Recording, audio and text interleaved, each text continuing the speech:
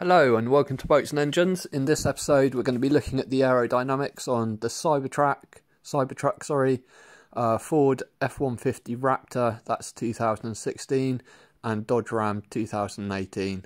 Legal disclaimer, uh, Ford, please don't sue me, uh, Dodge, please don't sue me, and Elon Musk, uh, could you post a picture of my cat on Twitter please? Um, so first of all, the Cybertruck, um, there's a much more in-depth analysis of that. If you want to know, just go and watch my other videos. It's on there. Um, all I'm going to say is at 60 miles an hour, which I'm testing all the cars at, that's 26.8 meters per second. It had a coefficient of drag of between 0.39 and 0.4, according to my software. So now we're moving on to the Dodge Ram, and you can see immediately there's quite a lot of separation um, after the bonnet and then a lot of turbulence um, around the bed. So just looking at the velocity of the air now. Uh, I should also mention I, I did run it with ISO surfaces to have a good look at the turbulence everywhere. When I try to screen record that and run it at the same time, it crashes my computer. Um, I'm running this on a GTX 1080 graphics card, but still it's enough to crash it with the screen recording going so it's it's not looking quite as good as the Cybertruck already. Uh, this is the only car I can find a claimed uh, coefficient of drag figure for, and it's claimed at 0.36, I believe. Uh, I could be wrong on that. It's uh, it's very hard to find the actual manufacturer's um, specifications, not just internet posts, which obviously you can't really trust. That's showing the pressure on the surface so um, red, end, red end of the spectrum, high pressure, blue end of the spectrum, low pressure. I should also mention that the models probably aren't 100% accurate. Uh, you can see on this there's no detail on the wheels, but then subtle changes are probably going to make subtle difference to the actual results. Another difference is um, none of the two two pickups I'm looking at have bed covers on them, which is going to probably have a negative effect on their coefficient figures. There again showing the tubes, just showing the airflow with quite a lot of separation going on. I should also say that as as these models don't have detail like the holes in the grill, that's going to affect it too. But in terms of just comparing the three pickups and uh, which is better than which, I think it's going to give a good idea. So now running the actual drag plot here and on the Dodge Ram it comes out at between 0.59 and 0.6. So claimed by manufacturer I think is 0.36 and this is around 0.59 or 0.6.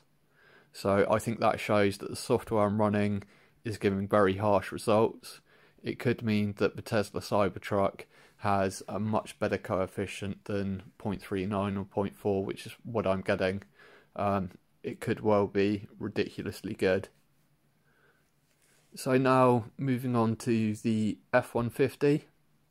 Again, uh, a lot of separation after the bonnet between the bonnet and the windscreen, just like the Dodge. Um, a bit less turbulence around the bed area, um, but not very different.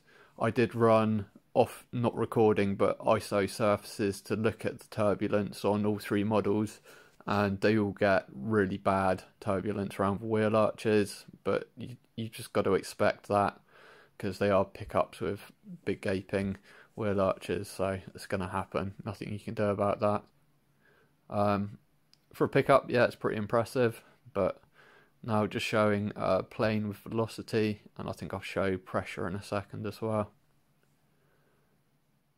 so another thing I should mention is I know people have moaning, been moaning about not modelling the wheels turning and what that's doing. Um, if you want to get that complicated, then you go ahead and model it yourself. I'm I'm not doing it. so yeah, showing uh, pressure there, and I think we'll switch to surface pressure in a second if we can.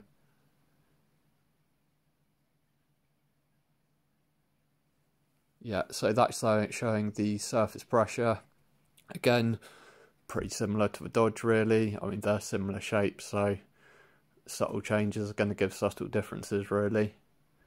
The only thing that surprised me slightly was I'd expect to see more low pressure on the tailgate, but that doesn't seem to happen. So I th I think uh, oh we'll let we'll run a um, drag plot on this one as well and see what coefficient of drag we get to.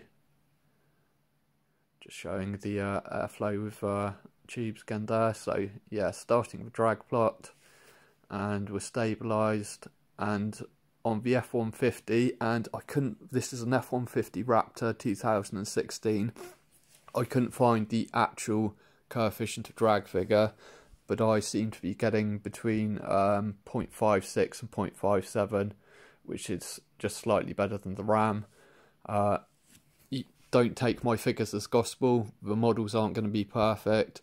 My software is not going to be nearly as good as what the car manufacturers have, and uh, they're going to have it running on hundreds of GPUs and God knows what else.